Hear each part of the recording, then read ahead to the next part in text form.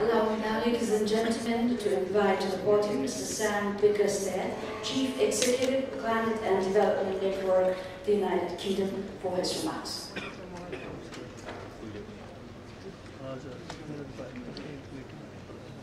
Thank you. Right Honourable Prime Minister, Honourable Secretary, Ministry of Science, Technology and Environment, Chair of the LDC Board, um, fellow panellists, friends, ladies and gentlemen, uh, good morning and namaste. I'm sure many, all of us here today will agree that the sooner the world cuts its greenhouse gas emissions, the smaller the rapidly increasing resource requirements for adaptation will be.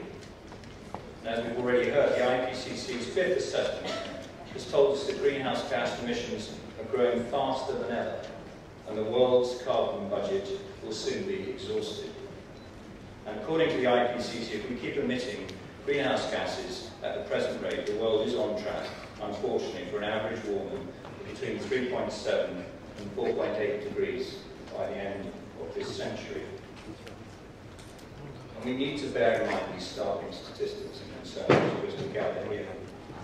And although the focus on developing countries is rightly on adaptation, many will agree that there is an opportunity for all countries to contribute to the collective effort to reduce emissions by creating an enabling environment for investments in low emissions um, and carbon resilient uh, investments in sectors such as agriculture, energy, transport and construction.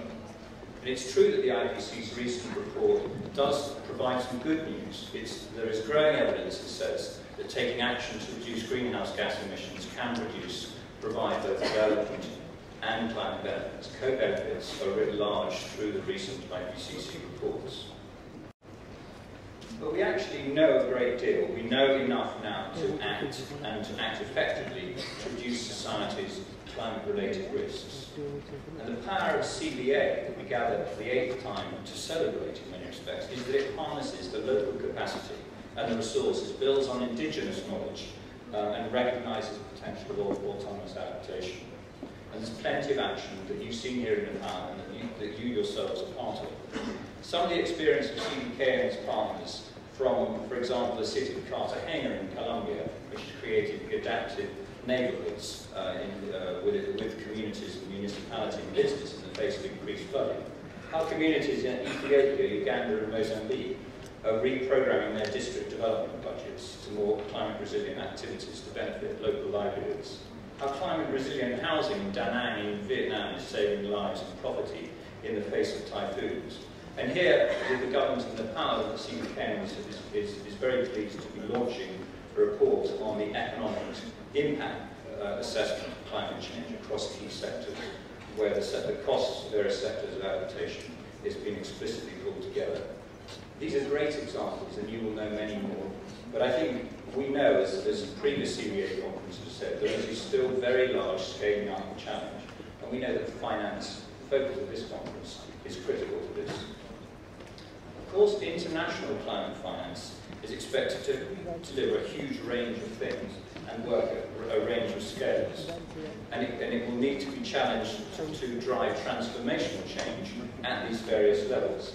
And this is already happening through the GEF and the Adaptation Fund, and at national level, through national climate change funds such as FONERWA in Rwanda. But, as the CBA's annual climate finance landscape report tells us, despite increased commitments by donors to adaptation, in 2012, according to CPI, 94% of the $360 billion spent on climate finance was focused on mitigation.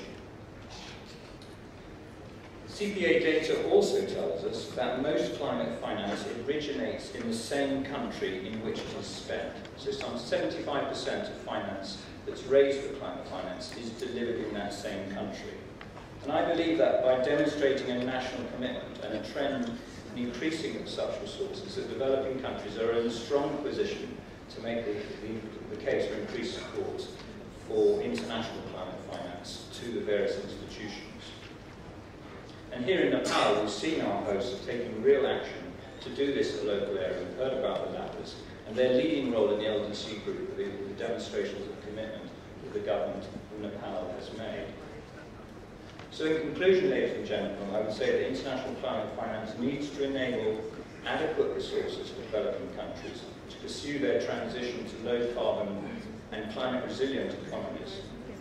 These resources, course, will need to be considered as catalytic and used in a way that shifts larger sums of investment from the public sector and the private sector to drive the, the broader transformation to climate resilient societies.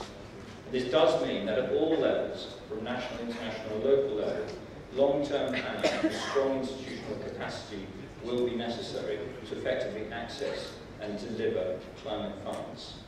I think many of you are part of that, and the CDKN um, stand very much ready to continue to partner with you and others in making this happen. Ladies and gentlemen, thank you very much.